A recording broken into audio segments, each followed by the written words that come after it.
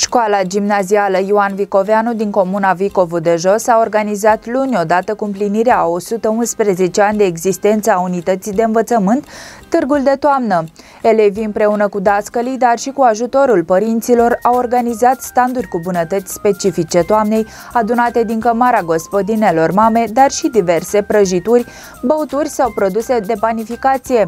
Nu au lipsit nici fructele și legumele sau obiectele decorative ce definesc anotimpul toamna.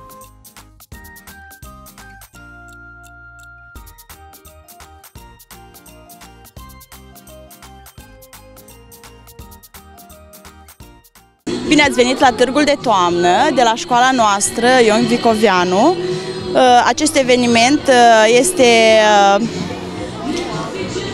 împreună cu aniversarea celor 150 de ani de când este școala.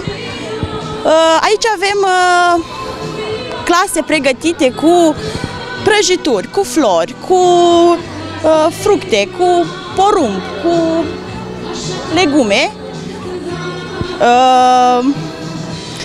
cărți de donat pentru uh, biblioteca școlii, care este acum un proiect nou.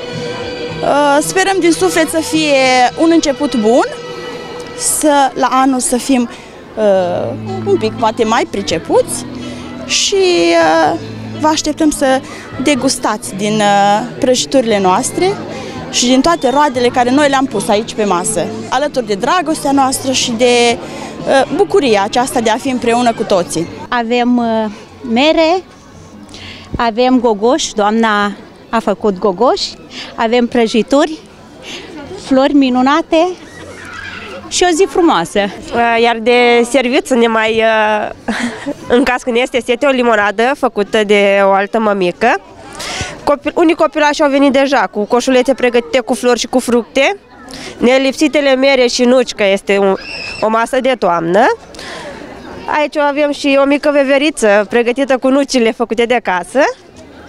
Și așteptăm și restul invitațiilor să se bucure de cele pregătite alături de mămici. Mulțumim frumos!